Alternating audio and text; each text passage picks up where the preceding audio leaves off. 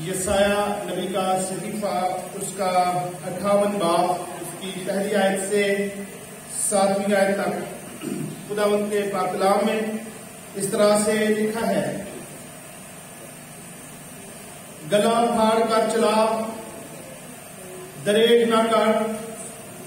नरसिंगे की मानद अपनी आवाज़ बुलंद कर, और मेरे लोगों पर उनकी खता और याकूब के घराने पर उनके गुनाहों को ज़ाहिर कर। वो रोज बरोज मेरे तालब है और उस कौम की मानद जिसने सदाकत के काम किए और अपने खुदा के अहकाम को तर्क ना दिया। मेरी राहों को दरियाफ्त करना चाहते हैं। वो मुझसे सदाकत के अहकाम तलब करते हैं। वो खुदा की नजदीकी चाहते हैं, वो कहते हैं, हमने किस लिए रोज़े रखे, जबकि तू नज़र नहीं करता, और हमने क्यों अपनी जान को दुख दिया, जबकि तू ख्याल में नहीं लाता? देखो, तुम अपने रोज़े के दिन में अपनी खुशी के तालब रहते हो। और सब तरह की सख्त मेहनत लोगों से कराते हो। देखो, तुम इस मकसद से रोजा रखते हो कि झगड़ा रगड़ा करो और शरारत के मुक्के मारो। बस अब तुम इस तरह का रोजा नहीं रखते हो कि तुम्हारी आवाज़ आल में बाला पर सुनी जाए। क्या ये वो रोजा है जो मुझको पसंद है? ऐसा दिन के उसमें आदमी अपनी जान को दुख दे और अपने सर को छाव की तरह झुकाए और अपने नीचे टाट और राख बिछाए, क्या तू इसको रोजा और ऐसा दिन कहेगा जो खुदावन का मकबूल हो? क्या वो रोजा जो मैं चाहता हूँ, ये नहीं कि जुल्म की जंजीरें तोड़े? और जुए के बंधन खोले और मजलूमों को आज़ाद करें, बल्कि हर एक जुए को तोड़ डाले। क्या ये नहीं कि तू अपनी रोटी भूखों को खिलाए और मस्कीनों को जो आवारा है अपने घर में लाए, और जब किसी को नंगा देखे तो उसे पहनाए, और तू अपने हम जिन्स से रूपोशी ना करे। कलाम मुकदस का पढ़ा जाना हम सबों के लिए बाईस बरकत हो। आमीन। दुआ करेंगे। मेहरबान सुंदर आसमानी खुदा तो अपने लिए बड़ा मेहरबान है कदरूस है। और खुदा ने हमें इस काबिल बनाया कि हम खुदावंद तेरे हजूर में आ सकें। तुझे पुकार सकें और खुदावंद तुझसे बरकत हासिल कर सकें। खुदावंद आज की इस इबादत में जब हम खुदावंद तेरे पाक कलाम को सीखने वाले हैं, तेरे पाक कलाम को खुदा खुदा हम सीखें, अपनी ज़िंदगी का हिस्सा बनाएँ और खुदावंद तुझसे बरकत हासिल करें। खुदा खुदा सीखने और सिखाने के इस अमल में तो हमारा मददगार हो। हमारे जहनों को कुशादा कर। हमें बड़ी संजीदगी की रूह अता फरमा, ताकि खुदावंद तेरे पाक कलाम को बड़ी संजीदगी के साथ सुने, सीखें, और उसे अमली तौर पर अपनी ज़िंदगी में लेकर आए। हमारे साथ हो, और खुदा खुदा तेरा रहम और तेरा फजल हम पर कायम रहे। मसीह हमारे खुदा के वसीला से मांगते हैं। आमीन। मसीह यीशु के ज़िंदा जलाली और बाबरकत नाम में आप सबकी सलामती हो। मसीह में मेरे जो आज रोजों के हवाले से, रोजों का आज पांचवा इतवार है और शाम की अबादात में हम रोजों के वसीला से, रोजों के हवाले से हम रोज़ाना एक नया ख्याल सीखते हैं और कलिसिया की दिलचस्पी शाम की अबादत में काफ़ी नज़र आती है, जिसके लिए हम खुदावंद अपने खुदा के शुक्रगुजार हैं। आज का हवाला यसाया नबी की किताब यसाया नबी के सहीफे से मुंतखब किया गया है, और उसका अट्ठावन बाब जब हम पढ़ते हैं तो यसाया नबी की किताब से हकीकी रोजा के बारे में जो खुदा हमसे तकाजा करता है, उसके बारे में हम जानते हैं। और आज भी हम रोजों के हवाले से, रोजों की अहमियत के हवाले से, हकीकी रोजा के हवाले से सीखेंगे, ताकि हम रूहानी बलूगत हासिल कर सके।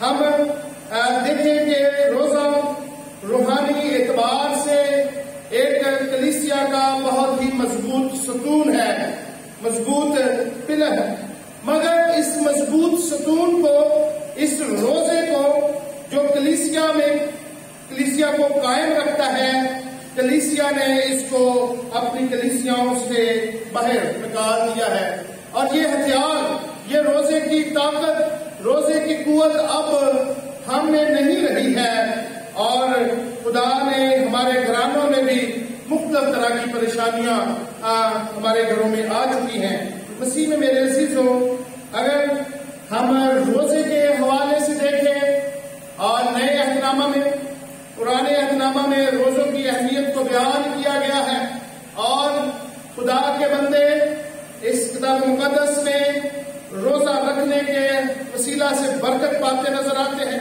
पुराने अहदनामा में जब हम देखते हैं तो लोग रोजा रखते थे और रोजा रखकर अपने गुनाहों की तोबा करते हमें नज़र आते हैं।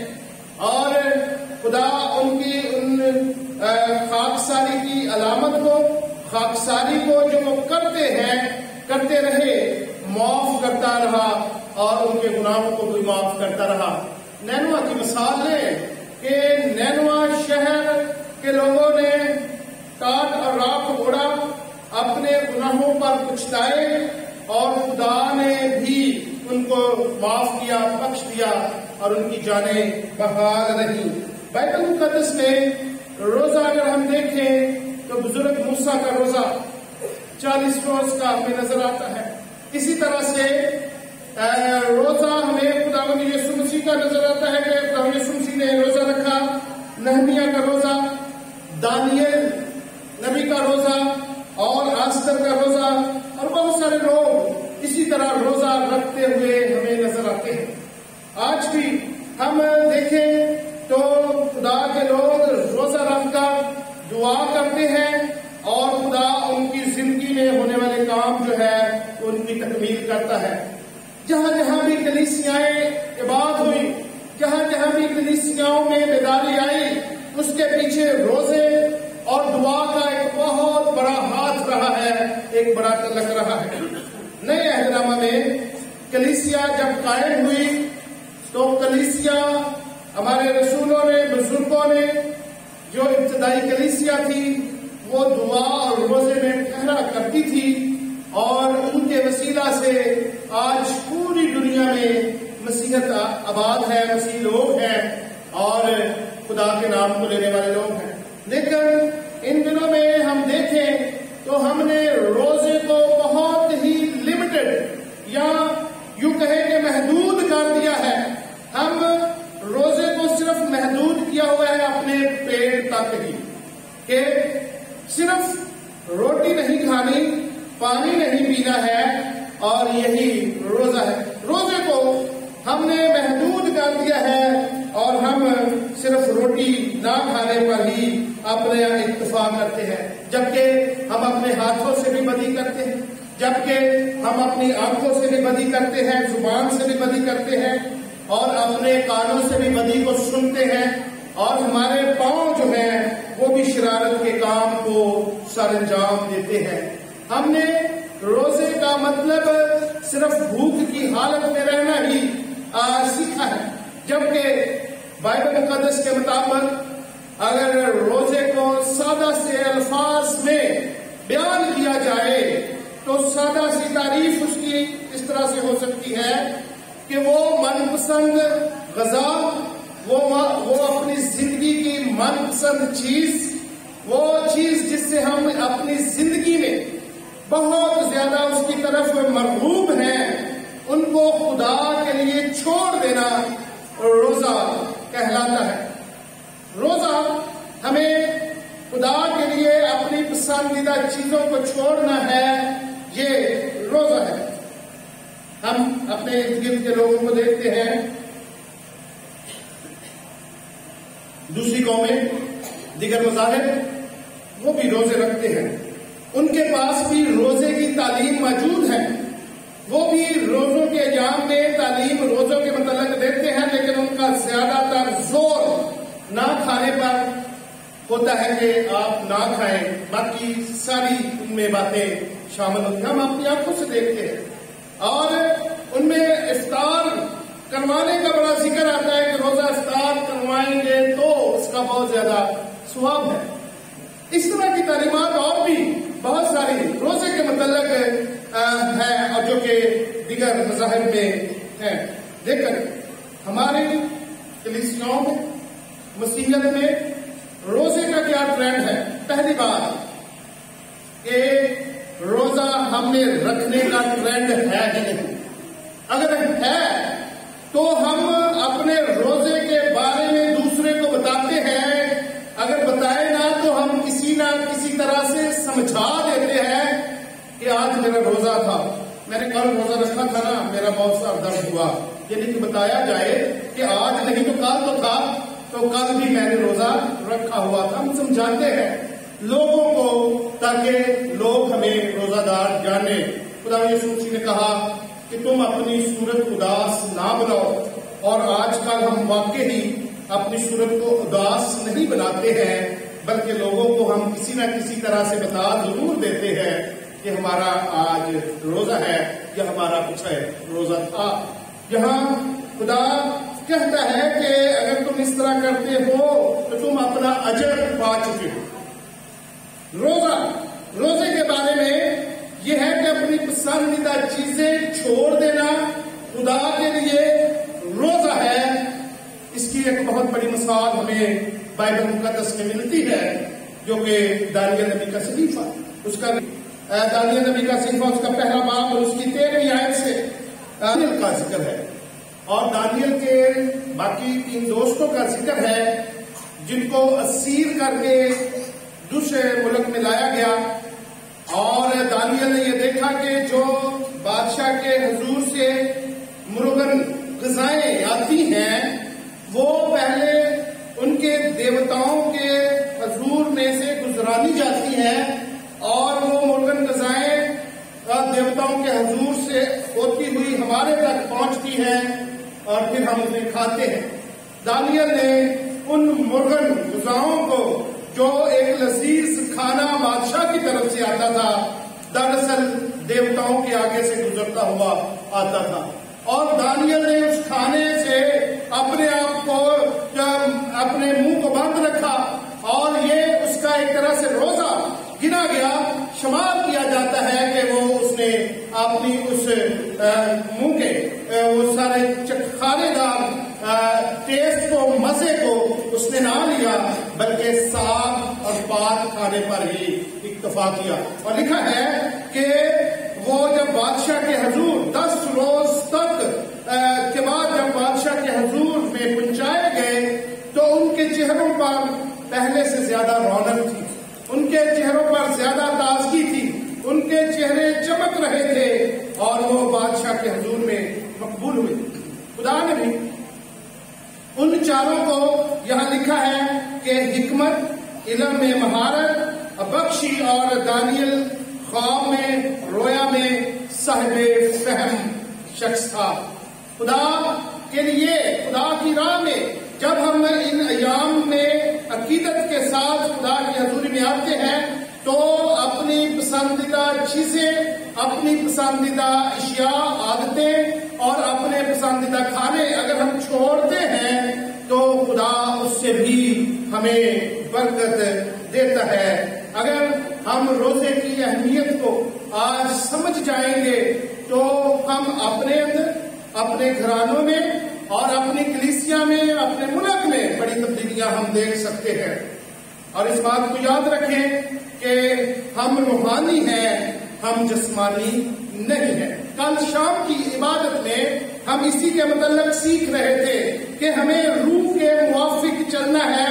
गलतियों के नाम पर रसूल का खत उसका पांचवा बाप और उसकी सोलहवीं सतारवीं और अठारहवीं आयत पर हम गौर कर रहे कि हमें जिस्म की ख्वाहिशों पर नहीं चलना है, क्योंकि हम रूहानी हैं। हमें खुदा के पाप लहू से धो दिया गया है और हमने इस बात के लिए जाना है कि वो हमारा कुफारा देने के लिए इस दुनिया में आया है। हमें रूह के मुआफिक चलना है, हमें जिस्म के मुआफिक नहीं चलना है, हम जिस्मानी नहीं हैं, हमें इस बात को याद रखना है। लेकिन देखा यह गया है कि हम ज़्यादातर अपने जिस्म की बात को मानते हैं। हमारा जिसम कहता है कि आज बहुत थकावट है। आज बहुत थकावट है। सो, तू लेट जा और हम लेट जाते हैं। हम रात को सोने से पहले जिसम हमारा ये कहता है कि तुझे भूख लगी हुई है। हम पहले कुछ खाते हैं और फिर सोते हैं। हम अपने जिसम के ही गुलाम हुए पड़े हैं और हमें अपने रूह का कोई भी फ़िक्र नहीं है। हम रूह के बारे में नहीं सोचते हैं। आज भी हमने अपने जिस्म को ज़्यादा तरजीह दी है कि आज बारिश का दिन है गोया तो हम गिरजाघर नहीं जाएँगे। पहले से ज़्यादा आज की तादाद भी कम है। उसी मेरे दिलों हम जिस्मानी हैं, हम जिस्मानी बने हुए हैं, जबकि खुदा का कलाम हमें ये कहता है कि तुम जिस्मानी नहीं हो, तुम रूहानी हो, इसलिए रूह के मुआफिक चलो, क्योंकि रूह और जिसम एक दूसरे के मुखालफ है। रूह हमारा क्या चाहता है? रूह हमारा ये चाहता है कि खुदा के रूह से हम छुप जाएँ, खुदा के खून से धुल जाएँ और खुदावंद अपने खुदा की तमजीद के लिए हमारा जिसम इस्तेमाल होता रहे। मसीह में मेरे रोजा हम अपने बदन को, हम अपने जिसम को सुधारने के लिए रखते हैं। रोजा हम अपने बदन को ट्रेन करने के लिए रखते हैं, अपनी रूह को, जो हमारे अंदर है, उसको मज़बूत करने के लिए रोजा रखते हैं। अगर हम अपने जिस्म की बात ही मानते रहेंगे, अगर हम अपने जिस्म को अपने काबू में नहीं रख सकते हैं तो यकीन जाने यही जिस्म हमें खुदा की बारगाह से हमें बाहर निकाल देगा। और हम खुदा की हजूरी से धदकारे हुए लोग शुमार किए जाएँगे। रोजा रखना, रोज़े की हालत में रहना और अपनी पसंदीदा चीज़ों को खुदा के लिए छोड़ देना दर हकीकत रोजा है। अपनी ख्वाहिशात के ताबे रहकर ज़िंदगी नहीं गुजारनी है, बल्कि हमें पाक की हदायत के मुताबिक ज़िंदगी को गुजारना है। जब हम रोजा रखते हैं तो अपने आप को खुदा के ताबे करते हैं जब हम रोजा रखते हैं तो अपने आप को खुदा के हजूर में आजिज करते हैं। जब हम रोजा रखते हैं तो हम खुदा अपने खुदा के हजूर में अपने आप को हलीम बनाते हैं और कहते हैं कि खुदा मुझे तेरी ज़रूरत है। खुदावंद, मुझे तेरी ज़रूरत है, इसलिए तू मुझे बरकत दे। आज कलिसिया में रोजा रखने का रवाज, रोजा रखने का ट्रेंड बहुत कम हो चुका है और हम इसके बारे में गौर नहीं करते हैं।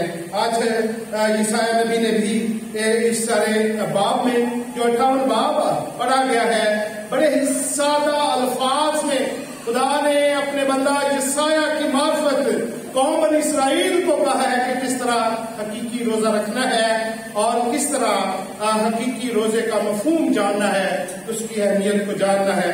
इसीलिए खुदा अपने बंदा जैसा नबी से कहता है कि मेरी कौम को जाकर, गला फाड़ फाड़ कर, चलाकर दरेक नहीं करना, बताना है कि तुम जो रोजा रखते हो, वो ऐसा रोजा नहीं है। क्योंकि उस वक्त भी कौम बनी इसराइल की हालत, उस वक्त भी कौम बनी इसराइल की सूरत हाल ऐसे थी कि वो देवताओं के सामने भी जाते वो देवताओं पर जाकर चढ़ावे भी चढ़ाते और हैकल में भी आकर इबादत करते थे।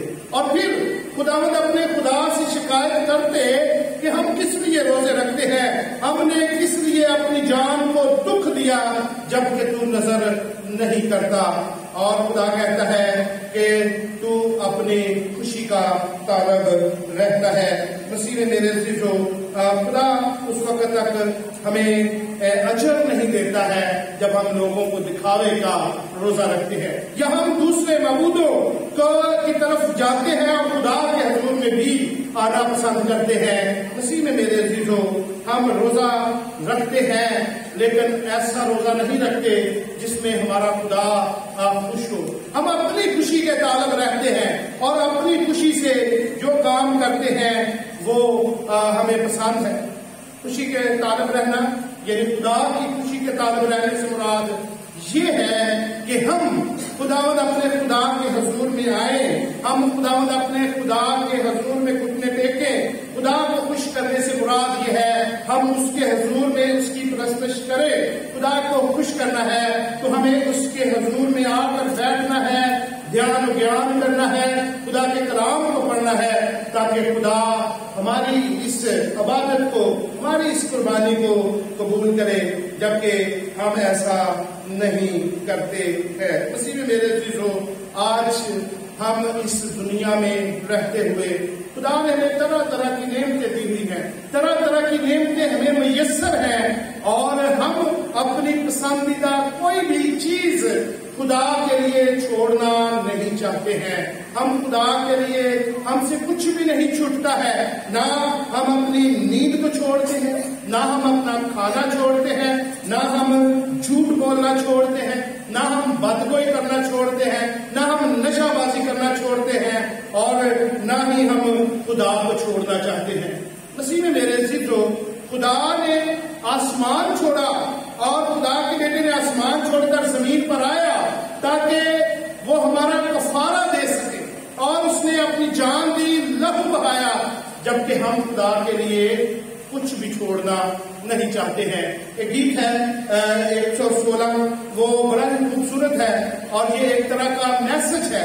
खुदा यसुमसी की तरफ़ से कि जान मैंने अपनी दी खून दिया, बेश बहा। उसकी पहली वर्ष अगर हम मिलकर इसको गाते हैं तो खुदा यसुमसी की तरफ़ से ये मैसेज है। आज हमारी कलीसिया के लिए कि खुदा यसुमसी कहते हैं कि मैंने तो सब कुछ छोड़ा, अपना जलाल छोड़ा, लेकिन तू आज मेरे लिए क्या छोड़ रहा है? हम कुछ भी छोड़ना खुदा के लिए नहीं चाहते हैं। जो गीत है 116 उसको हम पहले उसकी आयत को गाएँगे ताकि हम खुदा के हजूर में और ज़्यादा सीख सकें। जान मैंने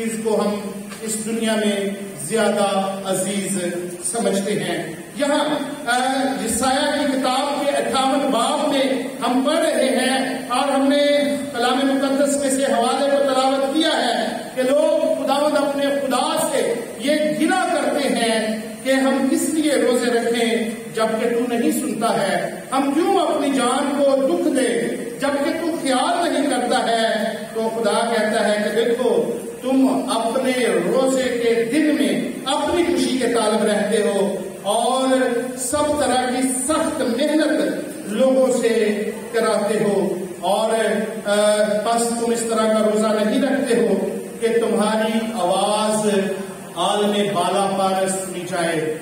आल में बाला पर।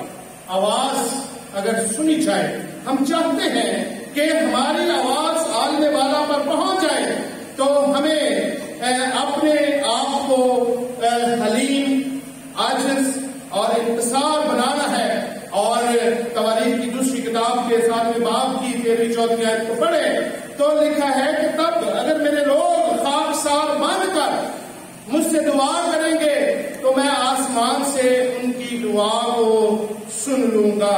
उसी में मेरे जीजो हमें रोजा रखना है खाकसारी की हालत में। आज हम खाकसारी की हालत में रोजा नहीं रखते हैं, आज हम इबादत भी करने जाते हैं तो कहते हैं कि इबादत करने जाएँगे तो वहाँ हम साथ एक दूसरे को मिल भी देंगे। ये बात अच्छी बात बात, जब गिरजाघर में किसी बड़े प्रोग्राम के मौका पर खाने का भी इंतज़ाम होता है, उस दिन तादाद मामूल से ज़्यादा होती है। लोग इसको फेस्टिवल समझना शुरू करते हैं कि इबादत भी हो जाएगी और ये फेस्टिवल भी हो जाएगा। हमें खाना भी घर में जाकर खाना और पकाना नहीं पड़ेगा। और लोग, अगर इस तरह की लोगों की ये हालत है, मसीह में मेरे चीज़ों अगर हम खुदा की इबादत को इंटरटेनमेंट में समझ रहे हैं तो ये कलिसिया कलिसिया नहीं है, बल्कि ये जहन्नम की जगह है। मेरे अल्फाज सख्त है, लेकिन ये खुदा के कलाम के मुताबिक है कि हम खुदा को खुदा के अहकाम को भूलते जा रहे हैं और उस तरह का रोजा नहीं रखते हैं जैसा खुदा चाहता है। खुदा कहता है अठावन बाब में, क्या ये वो रोजा है जो मुझको पसंद है?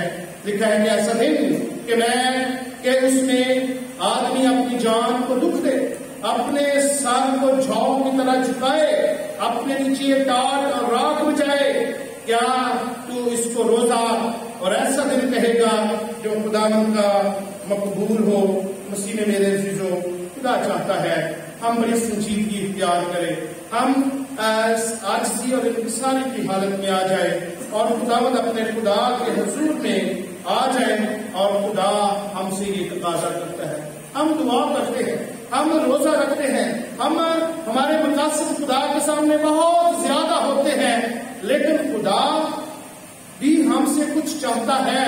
खुदा भी हमसे कुछ तकाजा करता है कि मैं आपकी बात सुनूँगा, मैं आपकी गुजारिशात पर अमल करूँगा। लेकिन उससे पहले मुझे भी कुछ तकाजा है, मेरा भी कुछ तकाजा है। खुदा उन तकाजों को भी आज चाहता है। जैसे एक मिसाल है कि हम अपने बच्चों को बड़े अच्छे अदारों में पढ़ाना चाहते हैं, और जब हम अपने बच्चों को अच्छे अदारों में पढ़ाने के लिए भेजते हैं तो उनसे उस अदारे के मैार के मुताबिक बच्चों के अंदर वो डिसिप्लिन भी देखना पसंद करते हैं। खुदा भी हमारे अंदर, खुदा यसुमसी भी हमारे अंदर उस डिसिप्लिन को और उस मैार को उस स्टैंडर्ड को देखना चाहते हैं। क्यों? क्योंकि खुदावंद खुदा ये कहता है कि मैंने अपनी जान दी है, मैंने अपना खून बहाया है और मैंने अपना जलाल छोड़कर इनके हूँ अब इनको भी एक स्टैंडर्डाइज ज़िंदगी गुजारने की ज़रूरत है। मसीह में मेरे जीजो अगर हम खुदा के स्टैंडर्ड और म्यार के मुताबिक ज़िंदगी नहीं गुजारेंगे, रोज़े नहीं रखेंगे तो हमारी आवाज़ आग में बाला पर नहीं सुनी जाएगी और खुदा भी हमें बरकत नहीं देगा। खुदा हमें इन रोजों के अयाम में आजसी और इंतसानी के साथ और पूरे दिल के साथ रोजा रखने की तफसीक फरमाए, ताकि हमारी आवाज़ आलम बाला पर पहुँच सके हम अपनी मरबूब चीज़ें खुदावंद अपने खुदा के लिए रोजों के यहाँ में छोड़ दें, ताकि हमारी जिंदगियाँ, हमारा करदार, हमारा लाइफ स्टाइल और Thank you for watching this video. Please subscribe and share this video. God bless you.